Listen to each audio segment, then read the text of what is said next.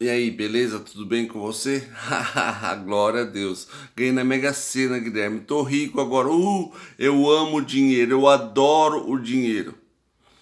Acabou de cometer um erro grave, né? Adorar somente a Deus, o Todo-Poderoso, Majestoso. Por que adorar o dinheiro? Não há necessidade de você adorar o dinheiro. Você vai, dessa vida, você vai morrer, vai levar ele com você? Uh -uh. Você vai comprar carro, vou comprar uma casa, vou comprar uma Ferrari, vou comprar uma mansão em Miami, em Beverly Hills. Olha, falando difícil. Em nome de Jesus, pessoa, não adianta nada, você não vai levar nada daqui. Não adianta você, na verdade, ganhar muito dinheiro e não saber utilizá-lo, não saber aproveitar a oportunidade que Deus está te dando para você ganhar almas, né? Ganhar coroas ganhar pedras na sua coroa, ganhar o galardão de Deus que um dia ele lhe dará, né? Porque a palavra de Deus em 1 Timóteo capítulo 6, versículo 9 e 10 diz o seguinte: 9.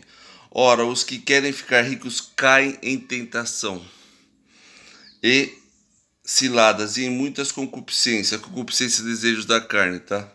Concupiscências insensatas e perniciosas, as quais afogam os homens na ruína e perdição porque o amor do dinheiro é raiz de todos os males, e alguns nessa cobiça se desviaram da fé, e a si mesmos se atormentaram com muitas dores. Portanto, não adianta você ficar rico, ganhar muito dinheiro, ter amor ao dinheiro, porque um dia esse dinheiro você, dinheiro você não vai levar daqui, você vai perder esse dinheiro. Possivelmente, se você criar um amor por ele, você vai gastar todo tudo que você ganhou.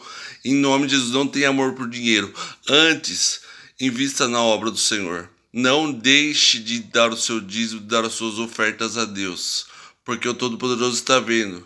E ele é o majestoso, ele é o glorioso, ele vai te abençoar se você assim o fizer. Agora, se você não está fazendo, você recebe seu salário, você trabalha um, um, de vez em quando por fora mesmo assim, separe o dízimo do Senhor, porque o Todo-Poderoso Majestoso está te vendo e vai te abençoar em nome de Jesus, vai te dar a vitória. A partir do momento que você for fiel com Ele, só que se você não for, você vai cair na cobiça, vai se desviar da fé e vai se atormentar a si mesmo. Portanto, não façais tais coisas, né? Antes glorifique, exalte, glorifique, adore ao Senhor uma, uma simples oferta vai dar-lhe uma bênção grande, porque Deus está vendo. Deus é o Todo-Poderoso, o Majestoso, Ele é o juiz, Ele é o onipotente, onipresente, onisciente, Ele é o Pai, o amado do Pai. O amado do Pai é você. Por que você está falando isso para mim, Guilherme? Porque você é filho de Deus. E qual que é o filho pedir um pão, o pai lhe dará uma pedra? Não tenha amor ao dinheiro tenha amor, glorificar, amor a Deus, glorifique, exalte, é, dignifique o nome do Senhor, seja como Deus quer, não conforme a sua vontade, porque o Todo-Poderoso está te vendo e vai te abençoar para a honra, glória, louvor, adoração do nosso Deus. Se você ganhar uma, um valor alto, vai de o dízimo, vai de oferta, porque o Todo-Poderoso está vendo. O mais correto é o dízimo, né? Em nome de Jesus, você vai ser abençoado para a honra, glória, louvor, adoração do nosso Deus. Tenha uma boa tarde. Tchau, tchau.